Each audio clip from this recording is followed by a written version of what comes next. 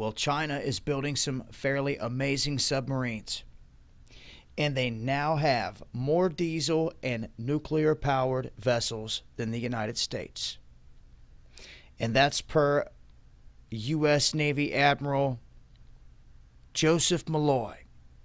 He says that China is making these strides in getting this technology, applying it, and they're expanding the geographic areas of operation and the length of their deployment.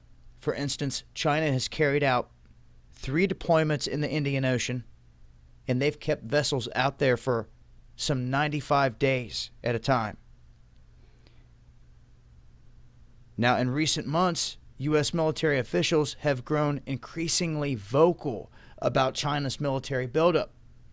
And they've launched this major push to ensure that the U.S. military technology stays ahead of this.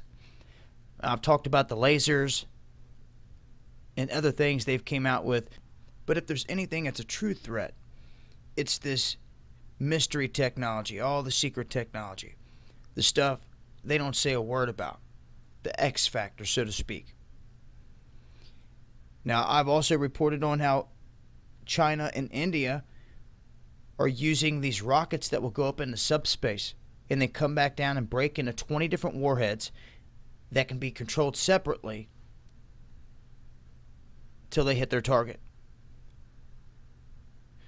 Nonetheless, I just want to make people aware this is what they're admitting here that, you know, regardless of if the United States has better secret weapons. When it comes to submarines, China now outnumbering the U.S. And you throw Russia in there with China, we're massively outnumbered then when it comes to subs. I'll leave a link. It's been Dabu7. Peace.